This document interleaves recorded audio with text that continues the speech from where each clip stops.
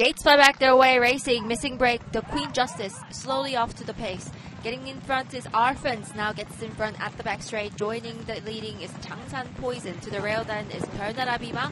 And on the outside, fourth place is Perfect Power. To the rail then, Cheonji Gwangpung is running rail, becoming second place now, catching up to the race pace setter Arfens. Arfens at the back straight, leading six more furlong left race on. And further behind, second place to the line is Cheonji Gwangpung, and outside joined by Bima, the debutant. Further behind is Perfect Power and positioning fifth place at this point is Jangsan Poison on the outside, joined by another Jangsan, Jangsan Monster. They two from the same house running together in the middle field. And inside is Uncle Bell and two lengths behind two followed up by Thank You That Chun. Joined by on the outside is Poker Prince. And rear the field is Pedari Candy and trailer is Rich More Rich and the Queen Justice who missed the break.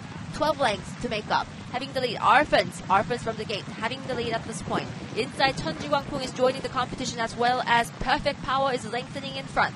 And also joining the last minute competition, Jangsan Poison is having the speed as well as its inside is Perfect Power, but Jangsan Poison is the contender for Cheonji Gwangpung. Cheonji Gwangpung and Jangsan Poison in time to close. It's Cheonji Gwangpung and Chang, Jangsan Poison. Jangsan Poison, Cheonji Gwangpung, day two, and flying home the Queen Justice. Too late for it, gone clear. Jangsan Poison crossing the line.